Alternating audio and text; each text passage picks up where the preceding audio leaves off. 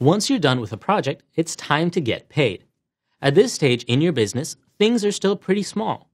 You're going to have a bit of money in the bank, you know all your expenses off the top of your head, and you know who owes you money. But as you grow, it's going to get difficult to keep track of these things. Accounting, or bookkeeping, is a necessary skill set that, like all other admin tasks, will really help you grow your business. The earlier you implement an accounting system, the easier the entire process will be for you. But where do you start? The first thing you need is a system to bill your clients. This doesn't have to be anything complicated, and there are lots of great options out there. Less Accounting, FreshBooks, and Xero are some of the most popular ones for freelancers. You may have heard of some of the bigger packages like QuickBooks. QuickBooks is a great software, but unfortunately, for someone just starting out, it's a little bit too much. There's a bit of a learning curve, and because of this, someone who's just starting a freelance business can get frustrated quickly. This makes them hate all bookkeeping tasks and it falls by the wayside. To show you how simple and painless accounting can be, we're going to pick a software and walk you through the process. When you pick your accounting software, there's a few things you want to keep an eye out for. First, it should be really simple to use. If the software frustrates you, you will feel like managing your books is a ridiculous chore. Unfortunately, keeping an eye on your money is crucial to running your business, so it's something you're going to have to do. Make sure your software is easy for you to use. Second, you should be able to create invoices extremely easily and be able to send clients the invoice without any hassle. Finally, you should be able to track all your expenses with ease. Expense tracking is very important, and we'll get to why later. Those are kind of the main features. There are other things that are nice to have, like the ability to brand and personalize your invoices, but they won't hold you back in any way. For this video, we're going to use FreshBooks as our example. It has all the features that we need, and you can try it for free. So once you have a system in place, the second important thing you need is to figure out who owes you money. We need to get paid for the work we do, so let's write up our first invoice to a client. The guys who run FreshBooks used to run a design agency, and as a result, the software is built with freelancers in mind. Let's go over some of the important things here. Date of issue. Capturing the date of issue is quite important because it allows you to track who owes you money. You need this data to figure out if your clients haven't paid you on time and if you should be imposing fines or late payment fees. Taxes. If you're going to be collecting taxes from your client, this is where you would indicate it.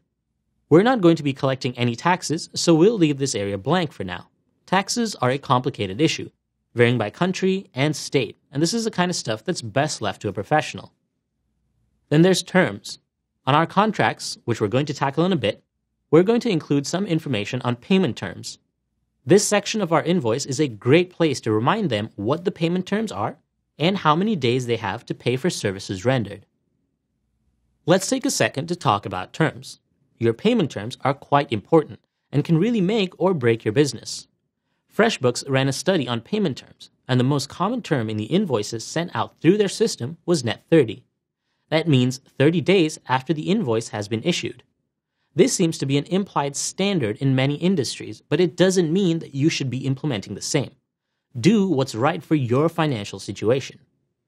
If you give the client 30 days to make a payment, that means if they pay you on time, you're talking about getting paid a month later for any work that you do. If they make late payments, it can be as ridiculous as being paid two or more months after you have worked on the actual project. This is terrible for your cash flow. It's already hard for a freelancer to bring in a stable income. Why make it even harder by allowing payment dates far out in the future? If you want your payment within a week, that's what you should ask for. If you think about it, everyone wants to hang on to their money. If I had an invoice that said I had a payment due in 21 days, I would wait till the 21st day to pay you. Why do otherwise? No one likes paying bills, so the longer you give your clients to pay you, the longer you will have to wait. Very few clients will be nice and pay you early. That being said, one of the other data points from FreshBooks' study was that certain terms do induce clients to pay faster. Saying thank you in your invoice increases your chance of getting paid, as well as avoiding technical jargon. Now, while the data can be interpreted in many ways, the moral of the story is be polite, be simple, and be clear. Go with thank you, we really appreciate your business. please send payment within seven days of receiving this invoice rather than payment terms net 30. Be smart about collecting payment. Always remind clients who are late, enforce guidelines, and keep tabs. Luckily, FreshBooks has a few features that can help us do this. Notice this column here that says status. Well, under that status, it says sent.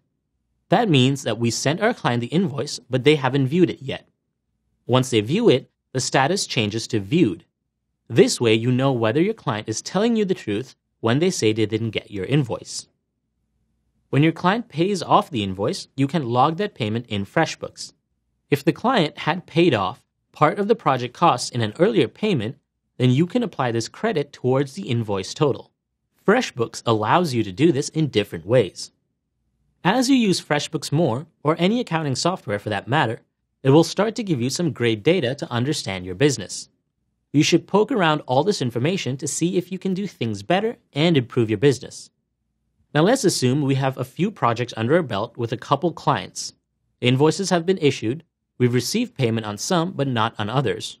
Once you start collecting all this data, you will be able to do a better job with point number two of why accounting is important, and that's tracking who owes us money. As you can see, FreshBooks shows you a quick overview of who owes you money. Of the 3000 some dollars you have outstanding, 250 of that is a month late. But most of it is almost three months late. Now, this is just an example, of course, but you can see how easy it is to keep track of your money using such software. Know which clients are late and by how much so that you can evaluate what action to take. You can drill down further by clicking down on the overdue amount to see which specific invoice was unpaid. The software can also show you how often your client pays so that if you were to undertake a new project with them, you have a better understanding of how to work with them. Clicking on a client here shows that they usually take a certain number of days to pay us. Since this number is clearly above our payment terms, it shows that we're either not clear enough with our payment terms or we're not doing a good enough job of enforcing them. So there you go, simple but effective ways to invoice your client. Now, I use the free trial of FreshBooks to show you around, but once you have a paid account, you can customize all the invoices to reflect your branding. Now, this isn't all there is to accounting, but don't worry, we'll tackle the problems as they come along.